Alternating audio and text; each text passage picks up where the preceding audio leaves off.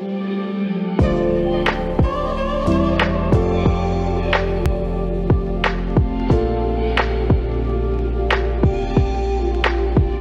und herzlich willkommen zu diesem neuen Final Testman Video. Heute geht es weiter mit meinem Heimkino-Projekt. In diesem Video dreht sich alles rund um Sound.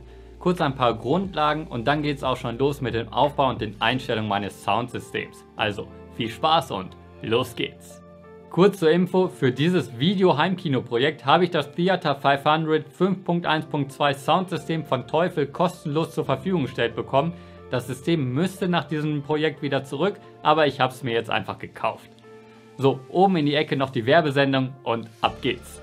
Die grundlegenden Infos, damit du dem Video auch folgen kannst. Soundsysteme werden immer mit einer Zahlenkombination angegeben, bei mir ist es zum Beispiel ein 5.1.2 System. Die erste Zahl steht für die Front- und Effektlautsprecher, die zweite Zahl steht für den Sub und die dritte Zahl steht für sogenannte 3D-Lautsprecher, die meist an der Decke hängen oder als Reflektorlautsprecher genutzt werden. Bei einem Soundsystem kommt es nicht nur auf die Lautsprecher an, sondern auch auf die Soundquelle. Es kommt nur Gutes raus, wenn auch Gutes reinkommt. Achte also auf den Input. Die wichtigsten Soundformate fürs Heimkino sind aktuell Dolby Atmos und DTSX. Gute Soundsysteme Systeme unterstützen meist beides. Die Lautsprecher können nicht direkt an den Fernseher angeschlossen werden, man braucht einen Audio Receiver, auch AVR genannt.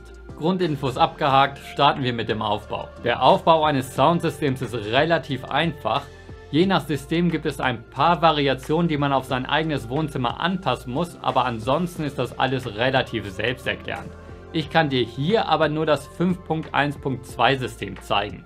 Für mehr empfehle ich dir den Teufel-Blog, da sind alle Variationen schnell und einfach erklärt. Mein Wohnzimmer hat eine offene Küche und ist etwas verwinkelt, also nicht optimal für ein Heimkino, dennoch machbar. Das Soundsystem ist das Teufel Theater 500 5.1.2 System mit dem Onkyo TX RZ840 AVR. Das Gute bei so einem System, alle Komponenten sind aufeinander abgestimmt. Als erstes solltest du dir Platz machen, also weg damit.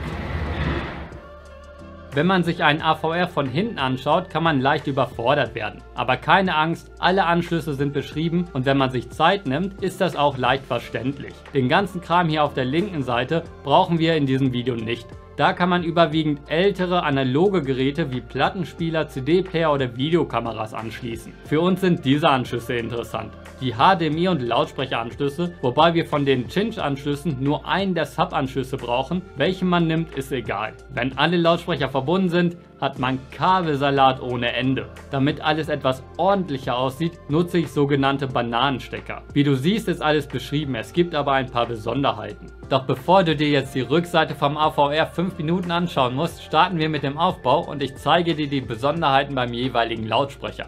Und beim ersten geht es auch schon los. Der Standlautsprecher T500 F16. Das ist ein 3-Wege-Standlautsprecher mit einer Dauerbelastbarkeit von 180 Watt und Nennimpedanz zwischen 4 und 8 Ohm. Die Nennimpedanz ist übrigens bei dem gesamten Soundsystem abgestimmt und gleich, bis auf die Reflektorlautsprecher, die eine Nennimpedanz von 4 Ohm haben. Der Frequenzbereich, der für die Einstellung im AVR wichtig ist, beträgt zwischen 39 und 21.000 Hz. Die Besonderheit hier ist, dass die Lautsprecher für B-Amping und B-Wiring geeignet sind. Das bedeutet, dass man den Tieftonbereich getrennt von den Hochton- und Mitteltonbereich ansprechen kann. Das geschieht dann mit B-Amping, also zwei AVRs, oder mit B-Wiring mit zwei verschiedenen Kabelsträngen zu einem AVR, so wie ich es auch mache. B-Amping ist kein Muss, sondern ein Kann. Daher sind werkseitig zunächst solche Soundbrücken montiert, die die unterschiedlichen Bereiche verbinden, damit man nur ein Kabelpaar benötigt. Die Soundbrücken müssen also raus, vergiss das nicht. Das Kabel für den Tieftonbereich kommt an die Frontklemme und für den Hochtonbereich an die Highklemme beim AVR. Wenn du Kabel am AVR verbindest, sind zwei Dinge ganz wichtig. Nimm den AVR vom Strom und verbinde die Phasen immer gleich. Also die negative schwarze Phase vom Lautsprecher musst du auch mit dem negativen Pol am AVR verbinden. Das gilt wirklich für alle Lautsprecher.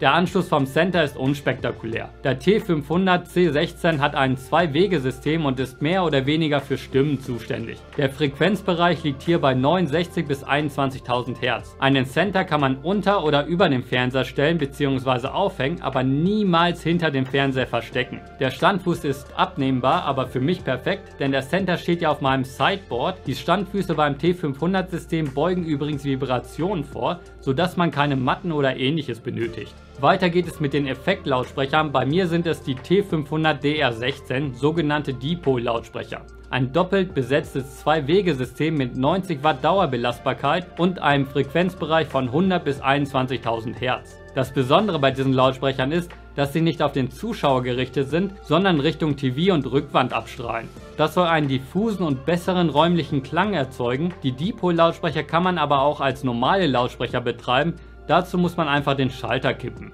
Das solltest du auch tun, wenn du zocken willst, damit du deine Gegner besser lokalisieren kannst. Die Dipol-Lautsprecher werden seitlich vom Sofa in einer Höhe von 1,40 Meter bis 2,10 Meter platziert. Ich habe sie mit einer Schraube auf ca. 1,50 Meter hängen. Der Weg von den hinteren Lautsprechern zum AVR ist meist recht lang. Umso länger der Weg, umso dicker sollte der Querschnitt der Lautsprecherkabel sein. Das hat etwas mit dem Leistungsverlust zu tun. Ich nutze für die vorderen Speaker 2,5 mm Kabel und für die hinteren 4 mm Kabel. Viele sagen auch, dass man für Lautsprecherpaare immer die gleiche Länge benutzen soll. Ich habe auch immer gleich lange Kabel geschnitten, aber in der Realität muss man ehrlich sagen, du wirst niemals hören, ob das eine Kabel 5 Meter länger als das andere ist. 5.0 haben wir schon mal, also geht es weiter mit dem Sub. Ein Sub ist für die tiefen Töne zuständig, also den Bass. Ich habe ja ein wahres Sub-Monster.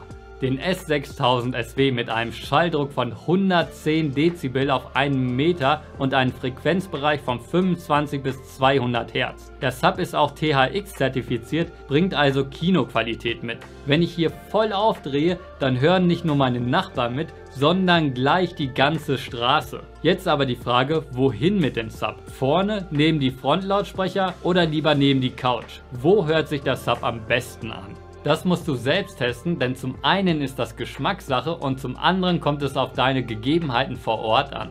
Stellst du den Sub neben die Couch, solltest du auch daran denken, dass du auch die Kabel über den Boden verlegen musst. Damit du dir ein Kabel sparen kannst, gibt es von Teufel auch den Wireless Connector, den man zusätzlich kaufen kann. Empfänger in den Sub und Sendestation an den RVR. Das war's dann auch schon. Am Sendemodul kann man dann noch Lautstärke und Standby-Option einstellen. Bei mir steht der Sub vorne, also kann ich das zweieinhalb Meter lange mitgelieferte Kabel nutzen, denn ich bevorzuge auch die Kabelverbindung. Damit steht das 5.1 System, welches wohl die meisten kennen. Die zwei weiteren Lautsprecher sollen 3D-Effekte bringen, wie zum Beispiel wenn ein Flugzeug über einen hinwegfliegt. Ich nutze dafür Reflektor-Lautsprecher. Dabei handelt es sich um ein Zwei-Wege-System mit einem Frequenzbereich von 150 bis 20.000 Hertz. Die optimale Position für solche Lautsprecher ist die Decke, aber ich stelle meine vorne auf die Frontlautsprecher, sodass der Sound von der Decke reflektiert wird. Bei Räumen bis 20 Quadratmeter reicht ein Paar aus. Da für Dolby Atmos ein spezieller Frequenzgang benötigt wird, können die Reflekt-Lautsprecher auch mittels Schalter zwischen Atmos und Normalbetrieb umgestellt werden. Reflekt-Lautsprecher hinten in den Surround-Back-Anschluss vom AVR und fertig.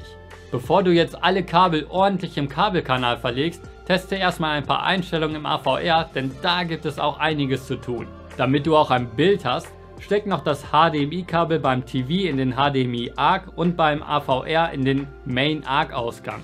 Und wenn du schon dabei bist, kannst du auch Blu-ray-Player, PS4, Switch und alle übrigen HDMI-Geräte anschließen. Der Beamer kommt dann in den Subzone 2 Ausgang. Als erstes mache ich bei Technikgeräten immer ein Update auf die neueste Firmware, dann geht es erst richtig los passendes System aussuchen und die Lautsprecher einmessen. Die meisten Receiver haben heutzutage automatische Einmesssysteme. Einfach das mitgelieferte Mikrofon anschließen und das System durchläuft das Messverfahren. Du kannst sogar mehrere Sitzpositionen einmessen lassen. Wichtig ist aber, dass es beim Einmessen ruhig ist. Bei mir lief das automatische Einmessen ganz okay, dennoch habe ich manuell alles angepasst. Den Abstand zur Sitzposition habe ich selbst gemessen und die Trennfrequenz der Lautsprecher kontrolliert. Die Trennfrequenz beschreibt den Übergang, ab wann der Ton zum Sub weitergegeben wird und dafür sind die vorhin erwähnten Frequenzen der jeweiligen Lautsprecher wichtig. Die Trennfrequenz stellt immer die unterste Frequenz des Lautsprechers dar. Kannst du diese beim AVR nicht einstellen, nimm einfach die nächsthöhere. Liegt die untere Frequenz beim Lautsprecher zum Beispiel bei 49 Hz, dann stellst du beim AVR einfach auf 50 Hz ein. Das gilt nur als grobe Hilfe, du kannst natürlich auch andere Einstellungen testen. Wichtig ist aber, dass sich das Ohr unter Umständen an die neuen Einstellungen erst gewöhnen muss, nimm dir also Zeit. Damit war es das auch schon, Soundanlage steht. Aber nochmal kurz ein paar Tipps zusammengefasst. Achte immer darauf, dass deine Soundanlage zusammenpasst. Die Nennimpedanz deiner Lautsprecher sollte zusammenpassen und der AVR sollte genug Power haben. Es heißt nicht, umso mehr Lautsprecher, umso besser der Sound. Eine 11.2 Anlage macht nur Sinn, wenn du auch 11.2 Sound hast. Die meisten Filme auf Blu-ray oder bei Streamingdiensten bringen noch nicht mal 7.1 Sound. Bei Spielkonsolen muss Dolby oder Surround Sound auch extra erst eingestellt werden und bei Streamingdiensten gibt es den besseren Ton ab und zu auch erst ab Full HD oder sogar erst ab 4K Auflösung. Achte also auf deinen Input, bevor du dir eine teure Soundanlage kaufst. Eine Soundanlage wird sich bei dir zu Hause immer anders anhören als im Laden oder bei Freunden. Du musst Kompromisse eingehen, da jede Wohnung anders ist. Lege deine Erwartungen also nicht zu hoch. Willst du solche Bananas nutzen? Kaufe am besten isolierte mit einer Gummi- oder Plastikummantelung, um Kurzschlüsse vorzubeugen. Meine hier, die tun zwar ihren Dienst, sind aber nicht isoliert, deswegen werde ich diese noch mit Isolierband umkleben, das geht dann auch. Und zu guter Letzt mein wichtigster Tipp für dich, lass dich nicht von diesen ganzen Soundspezialisten im Internet verunsichern, auch unter diesem Video wirst du Kommentare finden, wie zum Beispiel Deine Anlage ist so billig, die hört sich kacke an. Die Lautsprecher gehören unter die Decke. Unter 11.2 kauft man heute nichts. Die Bananas sind nicht aus Kupfer. Alles muss aus Kupfer sein. Es gibt immer einen Spezialisten da draußen, der es besser weiß und der den Preisunterschied genau hört, wenn er den Preisunterschied vorher auf einem Preisschild gelesen hat. Also hau schnell auf den Abo-Button und schreib mir unten in die Kommentare, welches Thema du zum Heimkino als nächstes sehen willst, denn das war noch nicht das letzte Video. Hast du weitere Fragen, schreib sie einfach unten in die Kommentare oder aufs Final Testament Phone. Bis zum nächsten Mal, dein Final Testament, Reviews aus Leidenschaft. Ciao!